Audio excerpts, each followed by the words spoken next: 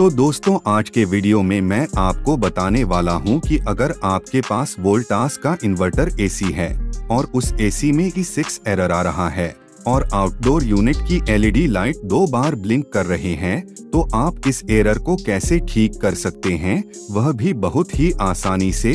तो चलिए वीडियो को शुरू करते हैं।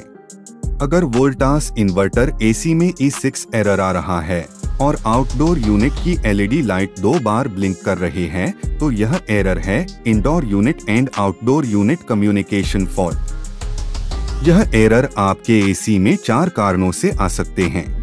पहला कारण हो सकता है कि आपकी इंडोर यूनिट और आउटडोर यूनिट में जो सप्लाई वायर जा रहा है तो आप इंडोर यूनिट के कनेक्टर और आउटडोर यूनिट के कनेक्टर को देखें सेम कलर कोड होना चाहिए। अगर इंडोर यूनिट और आउटडोर के कनेक्टर में सेम कलर कोर वायर नहीं लगा है तो आपका यह एरर आएगा। अगर सेम कलर कोर का वायर लगा है और फिर भी एरर आ रहा है तो दूसरा कारण हो सकता है कि सबसे पहले आप इंडोर यूनिट को ऑन करें और आउटडोर यूनिट के वायरिंग वाले कवर को खोलें। अब इंडोर यूनिट के आउटपुट सप्लाई में डीसी वोल्ट चेक करें। अगर indoor unit DC output supply दे रहा है और आपका यह एरर फिर से आ रहा है तो आपको आउटडोर यूनिट की पीसीबी को बदलना होगा।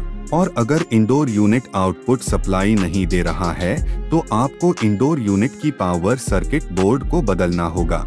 उसके बाद यह एरर पूरी तरह से ठीक हो जाएगा। आपको मेरे द्वारा दी गई जानकारी समझ आ गई हो तो मेरे वीडियो को लाइक करें और चैनल को सब्सक्राइब करें।